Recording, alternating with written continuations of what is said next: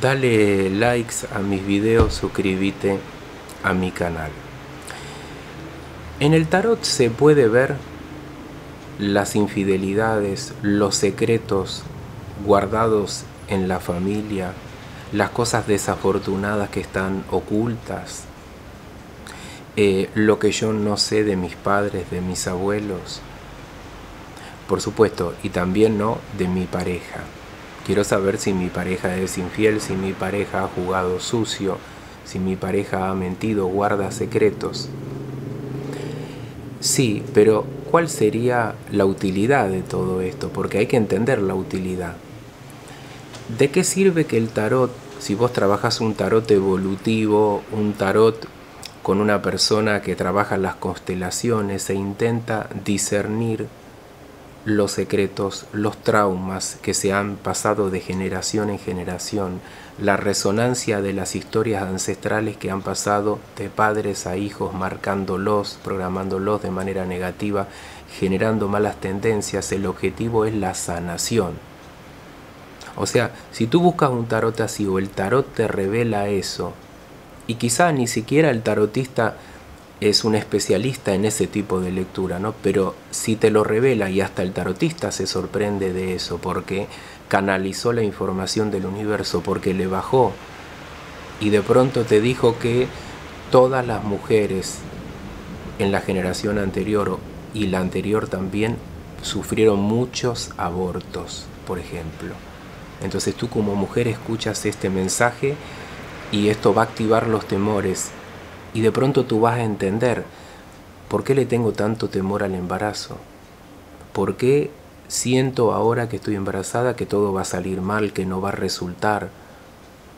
¿Por qué me sucedió esto? ¿Por qué me sucedió el otro en la vida y no lo entiendo? Y quizá hay secretos que han, eh, se han dado en la generación anterior a ti, o dos o tres generaciones para atrás, o cuatro o cinco, que se van transmitiendo, aunque los secretos esos eh, no se hablen más, inconscientemente uno va transmitiendo determinadas programaciones. Por ejemplo, la de la pérdida de, de los bebés en el vientre puede ser transmitida, aunque nunca te dijeron nada, en forma de tú tienes un temor irracional al embarazo, tú sientes ahora que estás embarazada que todo va a salir mal, tienes pánico, tu niño nació y tienes terror, pánico de que le suceda algo, miedos irracionales, inseguridades que uno no puede explicar si de pronto tú vives en un entorno seguro y con amor y con protección y tienes una buena salud. Me atrevo a dar este ejemplo porque es un ejemplo real. Eh, situaciones de infidelidad.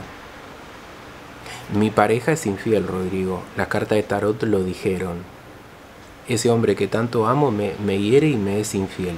Y yo te pregunto, eh, ¿para qué vos acabas de recibir esa información? ¿Para volver a tu casa y montarle un escándalo a la pareja y no solucionar nada y separarte? ¿O porque de verdad amas a la persona y querés ayudar a la persona? Si ese es el caso, porque vos sos una persona medicina, sos una mujer o un hombre sanador o sanadora que realmente quiere ayudar, y quiere construir una bonita relación y está dispuesto a perdonar, cosa que no va a ser fácil, ¿no? Porque somos seres humanos.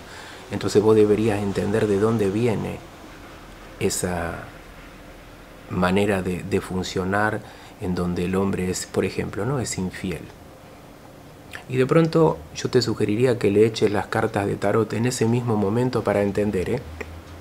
al, al padre de él y al abuelo de él y algún tío del cual tú hayas tenido referencia. Y preguntar a las cartas si esas personas fueron infieles también. ¿Y sabes lo que te van a decir las cartas? Probablemente que sí. Entonces, ¿cómo entender la situación, Rodrigo? Entonces usted me quiere decir que el hijo es infiel, que el padre es infiel y que el abuelo es infiel. Lo que yo te quiero decir que muchas veces resonamos con patrones de conducta, con programaciones tóxicas como podría ser la, la infidelidad como una manera de, descargarse, de lograr un equilibrio en la vida de uno, sin entender bien por qué uno lo hace, buscar el placer sin tomar las consecuencias de lo que eso puede generar, uno puede resonar con esas historias. Entonces, acá hay un problema que va mucho más profundo del que mi pareja es infiel. Quizá es un hombre que está repitiendo patrones de conducta que le fueron transmitidos y con esto yo no le estoy quitando responsabilidad del padre al hijo y del abuelo al padre. Y este hombre va a seguir transfiriendo probablemente a tus hijos varones o a tus nietos, si es que lo tenés el día de mañana, esta misma programación y van a tener los mismos problemas con sus eventuales mujeres o no, depende. Depende de que si la persona se da cuenta de esto, la persona puede abrir la mente y entender que si uno justamente empieza a pensar en todo esto, empieza a hacerse consciente, tiene el poder de sanarse uno mismo y dejar de transmitir ese patrón de conducta tóxico, digamos. Así como heredamos o resonamos con enseñanzas, aprendizajes, pensamiento positivo, amoroso, también eh, heredamos o estamos programados en aspectos tóxicos y negativos, los cuales se presentan en nuestra vida para darnos la oportunidad de sanar.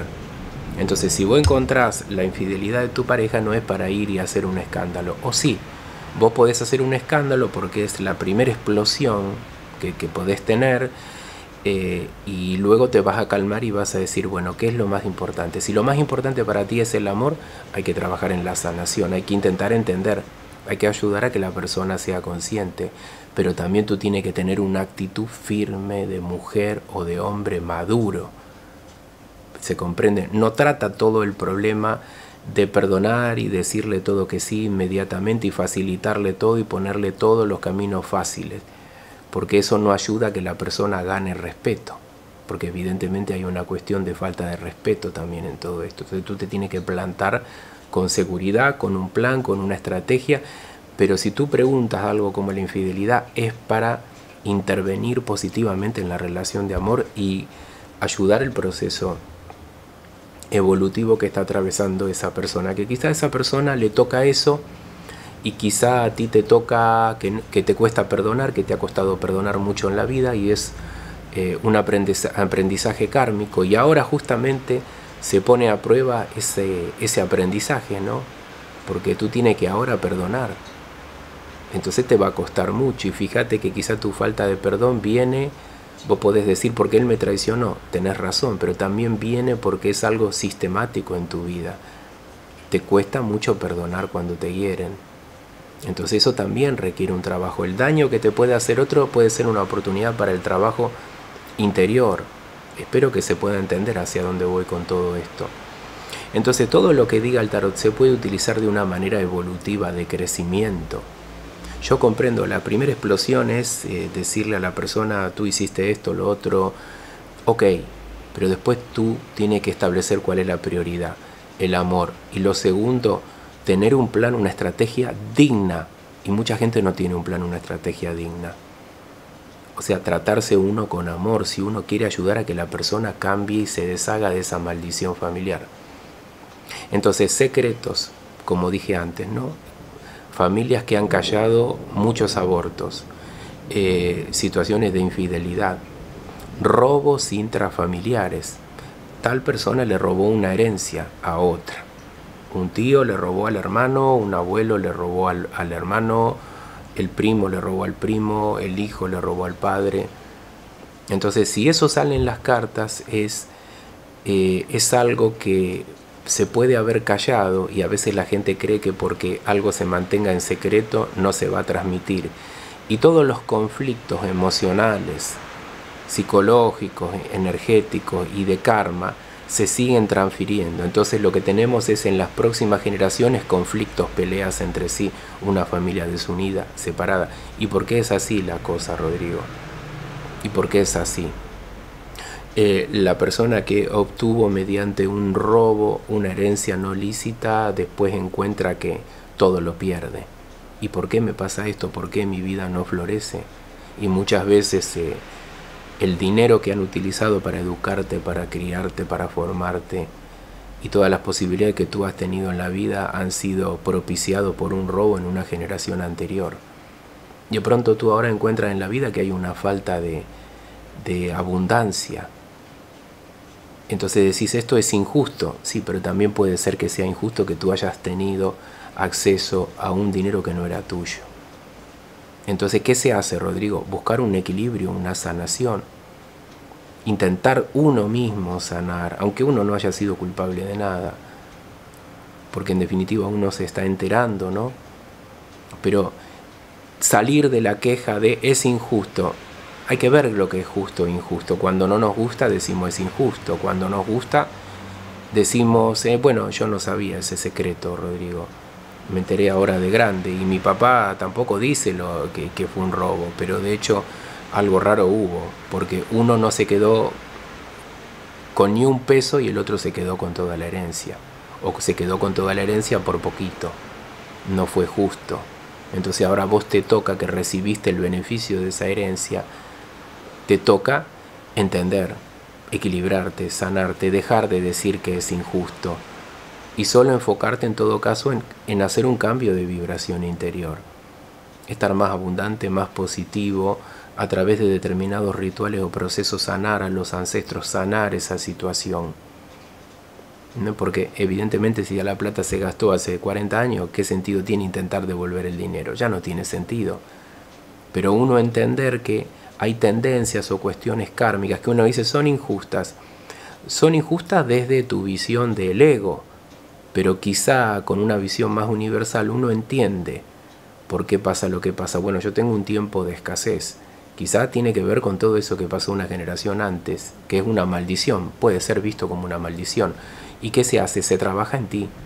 Déjate de quejar, déjate de decir que es injusto, empezá a trabajar el amor, la abundancia interior, entonces, en definitiva, toda esa tendencia negativa que te toca en este momento, si vos vas por un camino luminoso, te está ayudando a crecer y avanzar, porque hasta lo malo, hasta la enfermedad, hasta el daño que te pueden hacer, te puede ayudar a crecer como ser humano.